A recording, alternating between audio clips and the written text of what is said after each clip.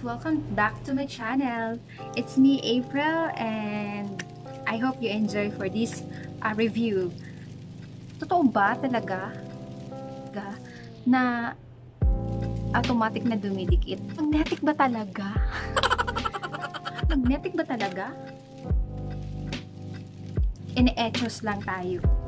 So, ngayon, masusubukan natin kung totoo ba talaga. Ang napili ko, guys, is normal lashes. Kasi nga, uh, gusto ko natural look lang. Um, meron namang choices. Merong mas makapal at mas mahaba. At kayo na bahala kung ano ang anong volume yung pipiliin nyo gagamitin. So, itong itong set na eyeliner eyeliner eyeliner tapos tweezer. So ito. Ito yung tweezer niya na free. Ito yung tweezer niya na malaki na meron siyang malapad na ano. I like the color alam niyo. Lakas maka ano maka girlala siya ng lashes. Kaya, kaya iyan naka curve siya. Ayan. And then itong lashes. Nalagyan ng lashes. At itong eyeliner liquid eyeliner. So, ay, buksan natin yung tigas. Ayan. Ayan na siya, guys. Kung makikita. Meron siyang ano, meron siyang magnetic ring na holder para hindi siya malaglag. So, kung nakikita nyo, guys, yung itim niyan na round pabilog, magnet yan, guys para dumikit yung lashes. Kasi meron talaga siyang magnetic. Yung bawat lashes niya, may nakadikit na ano, may nakadikit na magnet na, ayan. So, nakikita niyo yung maliliit na itim-itim na alternate. Yan yung magnet. So, yan na mag-hold pag nilagay niyo yung eyeliner. So, kapag binalik niyo naman siya dito sa lalagyan niya, automatic na didikit siya. Tapos guys, careful lang din kayo kasi bakit? Pag nag-apply kayo at hindi nyo siya na-hold sa dulo na sa yung lashes na talaga. Example, kailangan sa dulo ng lashes mo siya i-clip. Ganyan. Kasi para ang, ang ganda ng pagkakabit. Ganon. Pero kung talagang nilapit mo tong ano, tong tong tweezer sa may bandang ugat, didikit siya guys. Sir mo. So, ito na guys. Sige.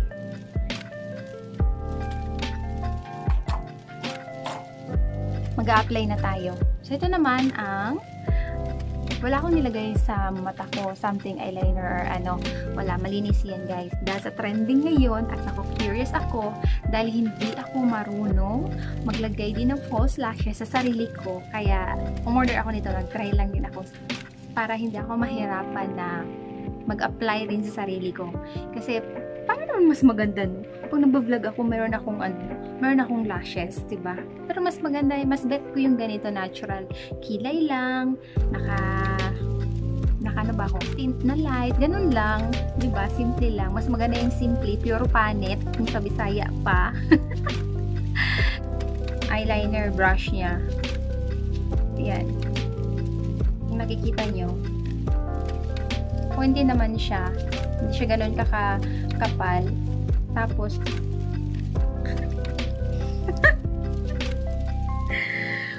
amoy putik. ah, o siguro yung chemical na metal na amoy na yun ang kinakapitan ng lashes. Siguro, ba? Dinesign to siya na set kasi nga partner sila. So, sila dapat ang magkasama. Hindi mo pwedeng gamitan ng ibang eyeliner ang false lashes na to kasi hindi siya didikit. So, kailangan pare sila. Matagal mo rin naman to magagamit kasi ano, laki. Ang laki ng ano niya, yung kasing sukat din ng regular na mascara. Gustuhan ko ba ang magnetic eyelash na so wala akong picture. Wala akong ano, salamin. Volume niyang pillow kanya ng false lashes. So, ito na. I-tweezer ko na siya. Ito na. Lalagay na natin. mata. So, 'di ba? Mahaba siya dito tapos paikli sa bandang mata. Ito yung gusto ko kasi hindi natutusok yung mata ko eh. Ayan. So, lalagay natin kung talagang mag didikit ba? Ah, as in Ang bilis niya, be. Ang bilis niyang nadikit. Ayusin ko lang. Oh, ayan na. Wow! Amazing! Amazing talaga siya. Tingnan mo. Oh, nadikit na. Tagagalawin natin. Hindi naman siya na ano. Hindi naman siya na nalaglag. Oh, kahit anong gawin ko. Ang ganda, be. Yes. So, ito na. Nalagay na natin. Ay, ang bilis, be. Hindi ko pa nga naayos. Ayusin ko lang sa kamay ko. Ang bilis, be. Ay, usog ko lang. Parang, parang ang pusa nito.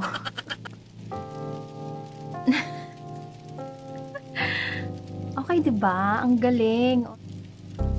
Parang gusto ko nang suotin ito. Gusto kong ano, ayoko nang huhubarin. Uh, comfortable siyang gamitin. Para lang yung normal. Tapos kapag aalisin na, meron ka namang makeup remover or or um, anong makeup remover ang gamit mo or wipes, i-cleanse mo lang yung ano yung eyeliner niya. So careful lang tayo guys kung pag napunta pag napunta sa mata nyo, agad nyong babanlawan ng tubig. Yun. Pero so far ang galing, kailangan talaga natin maging maingat syempre. I like it. So, eto na si So, ang masasabi ko sa sa magnetic eyeliner na to, a false lashes and eyeliner is ang galing nang nakaisip nito. Kasi um, sa mga tamad or sa mga hindi marunong or begin, bumili nga ako ng isang box ng ano ng false lashes pero hindi ko talaga siya ginamit. Kaya nung nalaman ko na meron na ito sa market, nag naghintay pa ako sa tamang panahon na magbaba yung price niya. Kaya, so, pwede siyang gamitin. Kailangan i-sanitize nyo, guys. After nyo siyang ginamit, then, pag ikikip ninyo, isa-sanitize nyo rin siya, guys. Para naman, syempre, yung mga micro microbio, yung mga bacteria dyan, mamatay, ba diba? So, I recommend this to the beginners na hirap na maglagay ng false lashes sa sarili nila. So guys, this one, try it.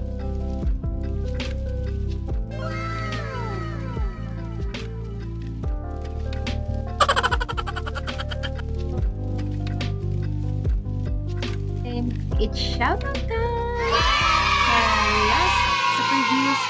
Video na yung sa detox, my friends nag-comment doon. So, so mga nag-comments, Catherine Aika, hello po Ate Catherine. Uh, thank you sa support at I hope na patuloy ka pa rin manonood sa mga hobbies ko, aliw. Dahil sa pandemic, yung natutunan kong uh, maghanap ng way na meron akong makausap. So, through this, Why not, ba? Walang masama, be. Basta happy lang, ba? Shell Isabella, hello po. Ang mabait at makulit kong friendship. Kumusta dyan? Ingat ka palagi. And kahit na anong mangyari, don't forget to pray God. Kahit na walang naniniwala sa'yo, don't forget that God believe in you. Kasi lahat tayo may purpose sa buhay. ba? Diba? So, please take care. I love you. I wanted to see you again. Sa, sa friend ko naman na nasa USA, sa Texas. Hello! Kay, kay Joy and to James, hello sa inyo. Shout out dyan. Kumusta kayo? Ingat kayo palagi. I miss you, Joy. I hope to see you soon. And also, shout out ko rin si Annalisa and Nick na nasa California. Hello sa inyong dalawa. Bigyan nyo na kami ng babies. But guys, if you want to watch their travel uh, vlog, pwede nyong i i-like and subscribe ang kanilang channel. Ito. Yan guys, visit their channel. Uh, kung meron kayong comment sa mga nanonood, kung meron sa mga nanonood pa ng aking video, kung gusto niyo mag-comment guys at magpa-shoutout, just comment below para sa next ko na video, uh, masya-shoutout ko po kayo. O, diba? See, see you soon guys! Bye!